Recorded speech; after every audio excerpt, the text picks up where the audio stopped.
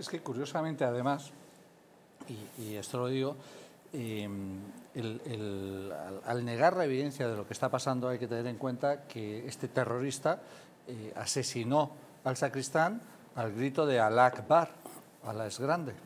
Es decir, tenía una motivación. El problema es, piensen en las personas que van a misa a diario en Algeciras.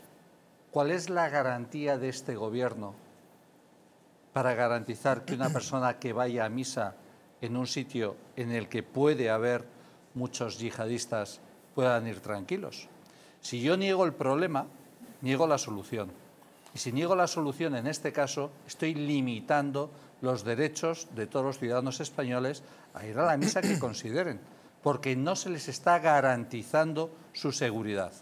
Es decir, yo voy al Congreso o voy a un ministerio y me encuentro siempre pues, a la policía, a la Guardia Civil. ¿Por qué? Porque son sitios donde, lógicamente, pueden ser objetivos de atentado terrorista y, por tanto, tienen que estar eh, custodiados.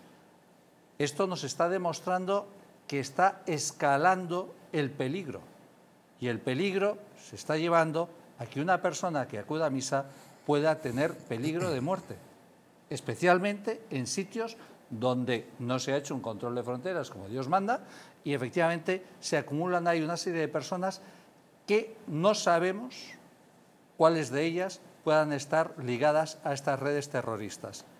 ¿Cuál es la garantía del Gobierno para garantizar la seguridad de los españoles? Es que no la hay, porque se niega la evidencia, se niega la evidencia.